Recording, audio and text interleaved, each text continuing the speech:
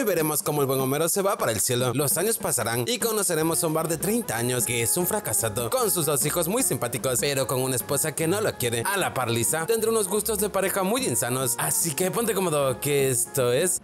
Los Simpsons. Ahora veremos días del futuro futuro. Esto se va a poner feo.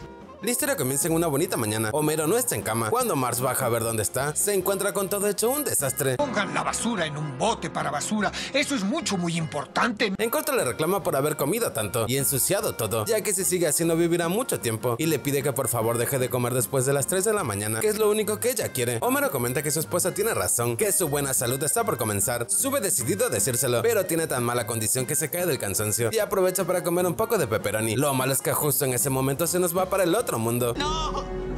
¡No, por favor, Dios, no! No, esto no puede ser. Al siguiente día se arma el funeral del pobre comedor y perezoso Homero. El reverendo alegría de unas palabras por el tan querido y amado padre Simpson. En eso llega Moe a darle sus condolencias a la viuda. De paso le da una carta para salir juntos a tomar algo. De repente aparece el profesor. Le pide a todos que relajen la raja. Que Homero no se ha ido para el cielo. Que ya hizo una copia. Y es el Homero número 2. Resulta que pudo poner los recuerdos de Homero en el cuerpo de un clon idéntico. Como su cerebro es muy pequeño, no fue nada complicado. Lisa se emociona, le da un abrazo a su padre. Y ahora la familia tiene otra oportunidad. Lo malo es que en tan solo un par de meses se fue de regreso con su creador. Moe vuelve a darle sus condolencias y aprovecha para invitarla a salir. Lo malo es que en ese momento vuelve a llegar Homero 3. Resulta que el profesor hizo un montón de Homeros, así que ya no debe preocuparse por comer de más, beber de más, hacer cosas riesgosas, ni nada de eso, porque siempre volverá. Y en corto se viene una secuencia del montón de veces que se va para el cielo. La familia va creciendo, los años van pasando y él continúa siendo reemplazado. 30 años después llega el funeral del Homero número 76. Esta vez solo la familia y mejores amigos fueron a verlo y el reverendo Alegría ya ni quiere hablar de él, solo pide que el robot llegue a buscarlo. Lo malo es que casi se lleva al abuelo. Moe vuelve a acercarse a March, pero esta vez es para decirle que está harto de tener esperanza. De repente llega el profesor diciendo que esta vez Homero ya no volverá, que se le acabaron los clones, pero que no todo está perdido. Pudo descargar el cerebro de Homero en una USB. Al conectarlo le reclama por haberse gastado todos sus cuerpos y que a partir de ese momento solo será la cara en una pantalla de un monitor. Lo malo es que March está harta de volver a ver a Homero.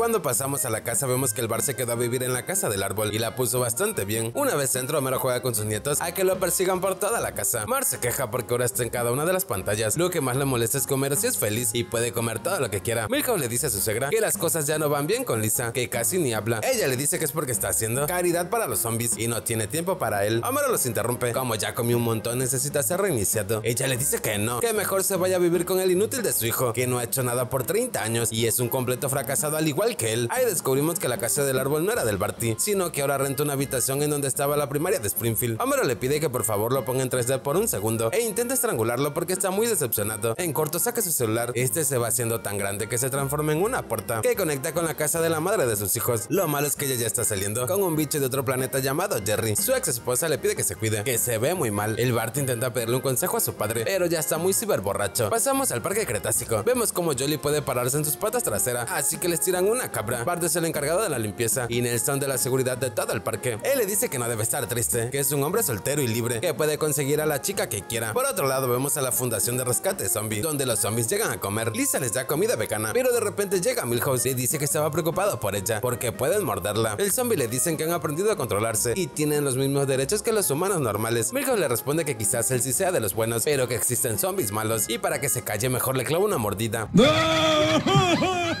Esa noche Bart se va con Nelson a Chico Duro. Lo malo es que el Barty no se siente listo para conseguir otra chica. Nelson se liga a uno. Barty le cuenta a otra que se dedica a alimentar dinosaurios, pero como tiene una barba de chivo pegada en sus zapatos lo echan. Se va toda triste. Pide una patineta. Unos metros después ve un letrero para divorciados. Entra a ver de qué se trata. Ahí le dicen que le ayudarán a borrar el amor de su anterior esposa. Con un toque en corto queda listo y paga con su anillo. Mientras tanto Lisa lleva a Milhouse con el doctor Hibbert. Él le dice que con dos inyecciones quedará al tiro. Mientras tanto debe controlarse. Al día siguiente Bart despierta con una chica. Por fin superó a su anterior pareja. Y en corto se viene una secuencia rápida del gran Barto cambiando su vida, yendo tras un montón de chicas. No existe quien se resista a él. Incluso estuvo con la señora Hoover, una mujer de otro planeta. Hasta agarró la fiesta con los payasos. Soy todo un galán.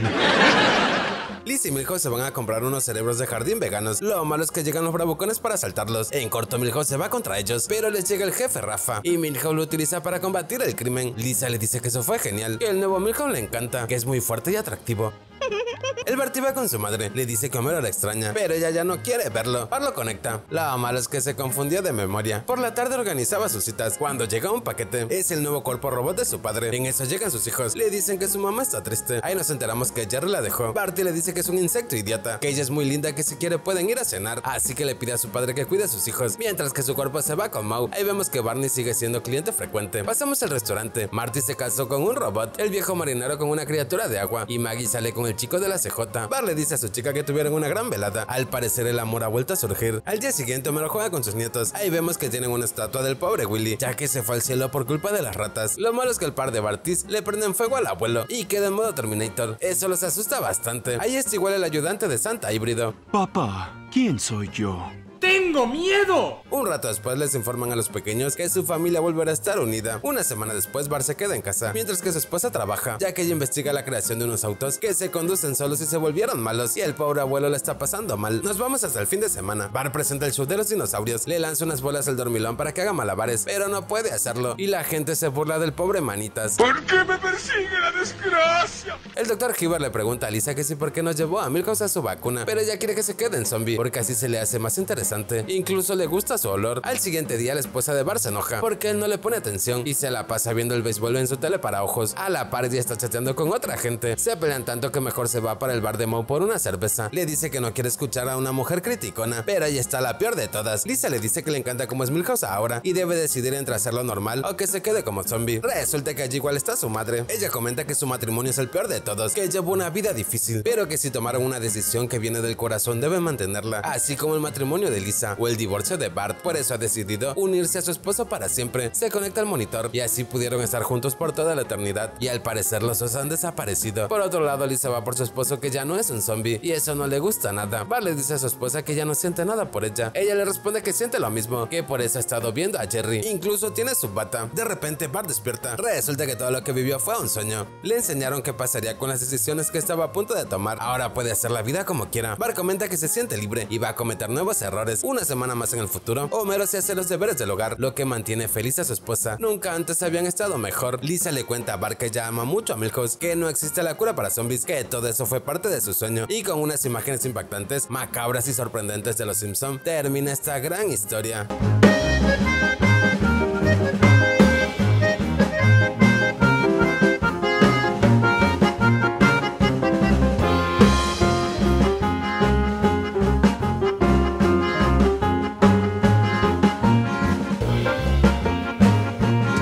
Y así termina este capítulo.